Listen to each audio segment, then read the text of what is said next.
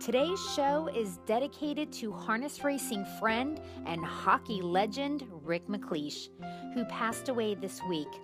Rick was known for scoring the most important goal in Philadelphia Flyers history. In Game 6 of the 1974 Stanley Cup Finals, his game winning goal brought the Flyers their first championship. We were so fortunate to have this incredible athlete join us on Post Time. Let's remember him with this feature when Rick was a special guest on a past episode. Rick MacLeish isn't a horse whisperer. He didn't grow up around horses, and he doesn't live on a farm. However, he may know how a racehorse feels better than anyone. You see, Rick is a retired hockey player and understands the work that goes into being on the front line in a professional sport, whether that athlete has two legs or four. The owners don't have to do any of the work, they have to sit back and collect the money. The horse does all the work. You know, you train uh, hired all your life. You know, they say all you do is make money, but you know, you got to go out and go to practice every day, whether it's for an hour or two hours, but it's, every day. Like racehorses, MacLeish, who was born on January 3rd, 1950, in Ontario, Canada, seems to have been destined for his occupation. Like I started around two and a half, three years old, and uh, I started. I played my first uh, official game, I guess, back then when I was about four years old. And uh, well, you know, in the United States you play baseball and stuff like that. In Canada, where from you play hockey. The three time All Star played over 800 National Hockey League games on five different teams during the 1970s and 80s.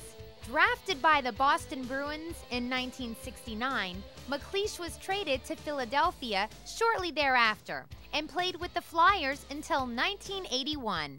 In addition to ranking fourth on the Flyers' all time leaders list in assists with 369 and points with 697, Rick was inducted into the Philadelphia Flyers Hall of Fame in 1990, and he was part of two championship teams.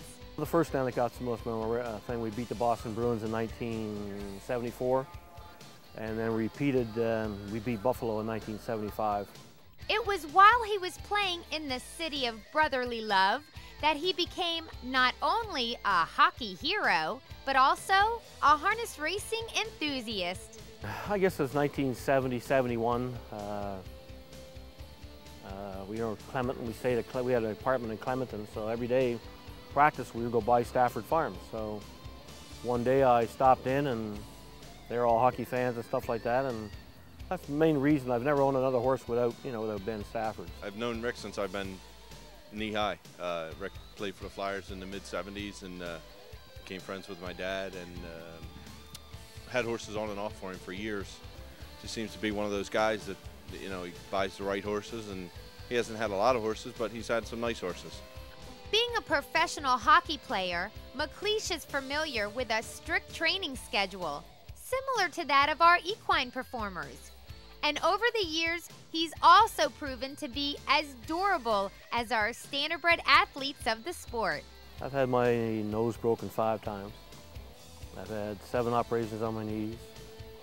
I had a gash on my neck of 180 stitches. Uh, no, uh, still got one teeth though, so as long as you keep your mouth shut, you'll be all right. Same people on the ice. MacLeish against Sheppard. MacLeish controls to Dupont. Dupont throws it and scores! Rick had such a great personality and was such a gift to our sport.